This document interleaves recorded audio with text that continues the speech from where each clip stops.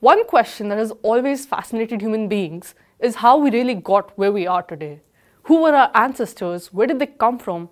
How did ancient human populations mix with each other to eventually form modern humans? Over the years, researchers have carried out several studies to uncover the answers to these questions. One recent study attempts to trace the ancestry of the people living in South and Central Asia, which of course includes India. 92 researchers from diverse fields and institutes collaborated for this study.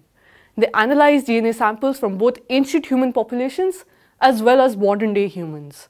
They looked at different Asian countries from Iran to Tajikistan to South Asian countries. Since there were no samples from the Indus Valley civilization itself, the researchers studied the DNA of groups which were in cultural contact with the valley. These samples act as good proxies for the people of the Indus Valley civilization. Now we go to Prabir Purkayastha who will help us better understand the findings of the study. Welcome Prabir. So firstly, this map here is basically the key to the findings of the study. So before we start, before we really delve into the findings, can you just, just explain the larger picture this map shows to us? I think what we are seeing is unraveling some of the aspects of ancient migrations which earlier were not clear, clear to us partly because the archaeological evidence, the linguistic evidence is rather difficult if the times are really 10,000 years, 8,000 years back. So what we are seeing is the ancient DNA which is deposited in bones, which we are now able to extract. We are able to multiply that DNA much more so that we can study it, make copies of the DNA, study it at much more depth and length. We are able to see ancient migration patterns. We are also able to date them much better. So this study, in fact, shows that the picture we have had of ancient migrations is not a one set of migrations, but really a series of migrations, out of which two major ones, except the ancient hunter-gatherer population which came out of Africa, spread across Eurasia and also other parts of the world. There are two other major migrations have taken place. One migration is of the farmers, and that you see spread across uh, Eurasia starting from what is called the Fertile Crescent, which is the place where you have the, uh, the Euphrates, Tigris, Euphrates Tigris River, the Levant on one side, and Iran on the other. So this is one part where you can see from farming, you have led also to the expansion of farmers going to different places from Europe to Asia, different parts of Asia. This is one major migration. The second is of the pastoralists, the nomadic pastoralists who have really come from the uh, Eurasian steppes, a little higher up between the Caspian Sea and the Black Sea. And then that migration overlays the earlier migration. And it is these two migrations which have shaped largely the population of Eurasia. More West Europe, Western Europe, Europe, Northern Europe, and South Asia and Central Asia. Of course, also West Asia. But East Asia is really something which has not come into this picture as yet, which I think still needs to be seen. So now let's focus on uh, South Asia and uh, Central Asia. So here uh, there have been a lot of interesting theories in the past about where our languages came from, where agriculture came from. Was it the Anatolian farmers or was it the Iranians or was it the steppes? People from the steppes. So does this study really give us some sort of conclusive answer as to where, how the Indus civilization really formed, when, how we got these things that we have today? Well, I don't think any answer is going to be a complete definitive answer. It's also going to raise a lot of other questions. But I think some things are clear. We would have expected that from Fertile Crescent, where actually we have the start of farming in the world. Of course, this is not the only place where farming started. You have maize, which starts in uh, Americas. You have also rice, which is not a part of this. So there are multiple places from which farming started. But when you look at the look at wheat, barley, some of these crops, the ones which are in uh, Europe and also in large parts of Asia, including South Asia, then we get one set of answers, which is that this the Fertile Crescent from Anatolia to Iran. This is the place from which farming starts and wheat is really uh, domesticated here, if we put it. There are various earlier varieties of wheat which are domesticated, and this is the great Neolithic farmer-led revolution, which leads to influx of the farmers. And this was also called what's called demic uh, expansion, demographic, geographic expansion, if you will, where the farmers travel with farming. It's not just cultural uh, uh, you know the expansion that people pick up farming from others hunter hunter gatherers become farmers that's not the way it happens the farmers also go yeah. and it's a mixture of hunter gatherers taking to farming and the farming population going that creates the new populations that we see so this marker is very clear in this entire region from Iran to South Asia, particularly what we will call what would be called the Indus periphery in this paper, because they don't have uh, ancient DNA really from the Indus Valley civilization. Once we get the ancient DNA, we'll have much more definitive answers. They're conjecture, and this conjecture seems to be fairly well brought, uh, thought out, because it also looks at other ancient populations that existed in different parts, but also other parts of India.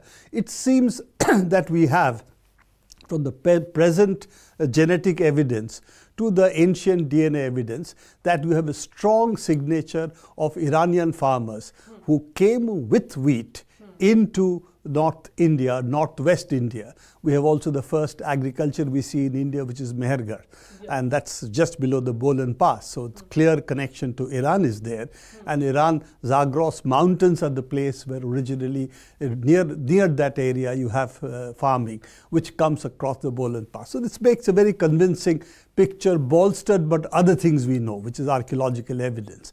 Now, linguistic evidence is not possible at this age because you're really talking of something which happened five to 7,000 years back. So there's no linguistic evidence that we can see unless we decipher the Indus uh, Valley seals. But looking at the genetic signature, the archaeological evidence, it's very clear. The Neolithic farmers came from Iran into South Asia from, of course, northwest and then come down the Indus Valley. And the Indus periphery signatures, if you take what we see in the Swat Valley, where they have got some ancient DNA, which is about 1200 BC, so much later, HAZTEP's influence. And you see what is called the BMAC areas, the Bactria Margiana area. Then that area, it's very clear that this mixture is what probably is what we would also see if we went to the Indus Valley civilization. Interestingly, they have some South Asian flows into this area. So it was not just a one-way flow, it was two-way flow, but predominantly farmers coming into this area. Then of course there is trade, there are some uh, Indus Valley artifacts we find in, find in this region. So there is a back and forth flow, but that takes place after the initial expansion of farming, which seems to be or it seems to have originated for Iran. And that's, as I said, five to 7,000 years back. And this is the ancient migration about which we have not really had earlier too much of evidence. And earlier focus has been on languages mostly, which then uh, takes us to uh, the Eurasian steppes. Uh, well, that's the other migration, as you rightly said. Yes, we have focused really on Indo-European group of languages. And then there has been this debate, did it start from Anatolia, as you called the Anatolian hypothesis? Mm. That was the expectation that Indo-European languages spread with farming. That was one of the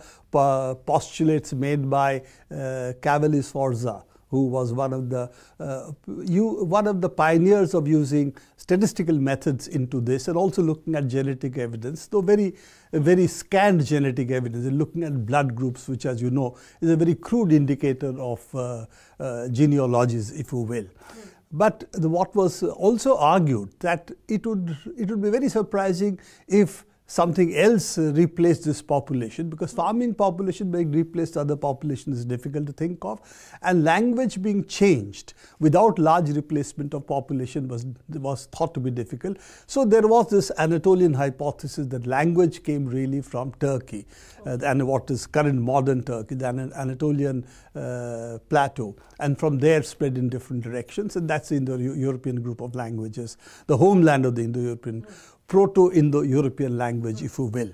Now, this has been clearly now shown that's not true. The other hypothesis, which is always there, in fact, most of the historians, archaeologists favored that evidence, was that it comes from essentially what would be called the uh, Eurasian steppes, the area, as I said earlier, between the Caspian Sea and the Black Sea.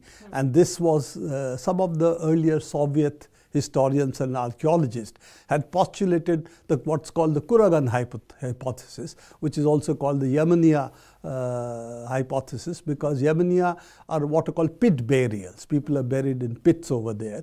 So this is the origin of the uh, Eurasian steppe people who then spread out with their language both across Central Asia and then down to South Asia and also uh, to Europe. So this has been that origin which has overlaid on the earlier Neolithic farmers the Indo-European group of languages. So Proto-Indo-European group of languages really came most possibly with the horse and the chariot, both of which would mean um, what I would call as uh, uh, warlike uh, dominance and therefore mobility being a very important part of war, therefore dominating through war and becoming the ruling classes, if you will, of a very large area carrying their language, which is then the second migration we talked about, which shapes the current population. As I said, over two thirds of Eurasia, this is the population we see, and also Central Asia and of course uh, South Asia. Of course, you will see a gradient of the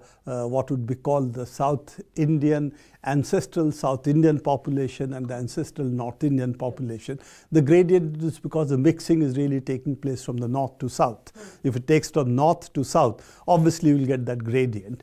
And you will also see because India has a caste system, endogamy and so on. So there are also upper caste uh, groups which carry more of the Central Asian steppe signatures yes. than other groups do. Of course, the South Asian uh, groups carry it uh, as you go down carry it less and less. But it is not to be thought that the South Asian groups were the quote unquote original hunter gatherer population. They're very much a part of the Iranian influx as well.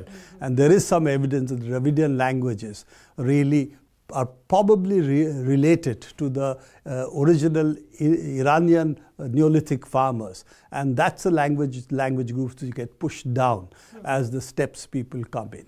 So this is the mixed picture but it's certainly a much clearer picture, more consistent with what the archaeological evidence, the linguistic evidence, and what the historians have postulated based on what we think how societies evolve. And that's very important. It's not that the genetic evidence is conclusive. It has to be taken in, in line with all the other evidences we have to have a coherent and meaningful picture of the past rather than fixing or you know only getting fixated only on a specific view based on either genetics, archaeology or linguistic evidence. You have to combine all of it and look at how his societies could have evolved and then come to some conclusion. So if we if we look at the uh, picture of Europe, we see something very similar to what we've seen in Asia. That there have also been two major uh, migrations here of the of the agriculturists as well as of the pastoralists. So can you tell us about that? Yeah, I think the picture, as you said, is very, very similar. We have an initial expansion from the Anatolian uh, uh plateau, which is really a part of the Fertile Crescent, the north uh, west part, if you will. And from there, you go to Western Europe and you go to Northern Europe. So that's a very easy path that you can see, and it is of Neolithic farmers.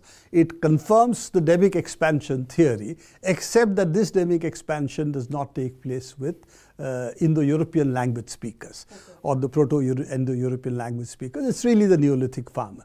So that part of the thesis of demic expansion is also confirmed here. The Neolithic farmers are the major first expansion. And as the uh, hunter-gatherer population comes in contact with them. The other, uh, they are absorbed into this, so mixtures start taking place. And at some point, they also adopt farming, and there is also an explosion of their expansion. So you see all of this mixing, very similar to what you see in South Asia and Central Asia, very similar to that. Particularly South Asia and Europe seem to follow a very similar pattern, mainly because of agriculture. So you see that first part of it is relatively very, very similar. Then you have the next excursion, the next incursion, if you will, of the Central Asian people, which come from the Yamnaya culture again. And then you see that coming into what would be called the corded ware uh, people uh, who used a certain kind of pottery. And you can see that there, uh, there's a heavy incursion of the steppes uh, signature over there. There is a serious, you can see a significant steppe signature over there. Also very close to the Central Asian steppes that we are talking about, which is really the region also above Black Sea. So that's not very far from what we are talking about. So it is not surprising to see that, you know, that incursion, as it were, into Europe. And then it spreads out. it spreads west, it spreads north, and it also spreads to southern Europe. Mm. So, a very, very similar uh, phenomena to what happens oh, in, in South Asia as well. So, it's interesting, the two thirds of Eurasia, in that mm. sense, have a very common historical you know, migra- historical set of migrations which parallel each other. Mm. In fact, that even the timings are not very dissimilar maybe give or take a thousand years. So that's really not a very significant uh, number in this context. And it spread slowly when it comes to the Neolithic farmers, spread faster when it comes to the steppes people because they're mobile.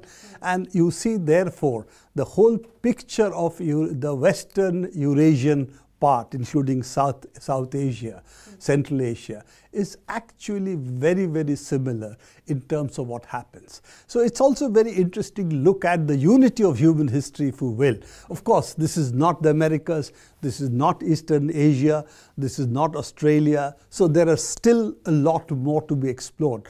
But the picture that is emerging with agriculture, with the Indo-European group of language that we know, I think is a very fascinating one. And it does for us, all of us who are interested in who we are, what we, where we came from, looking at it scientifically, not mythologically, yeah. that we all originated from some mythic creation, uh, 4004 BC, or from uh, somewhere from Brahma's various parts of the body. If we don't take such mythological exercises, but believe in looking at our own history, the sciences, I think the unity of the human civilization is very, very important also to focus on.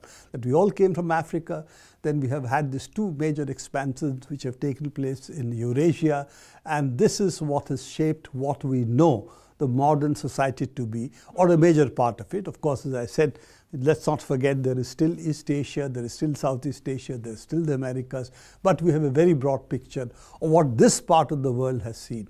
So uh, thank you, Prabir, for talking to us about this and for explaining this map to us. And uh, thank you for watching NewsClick.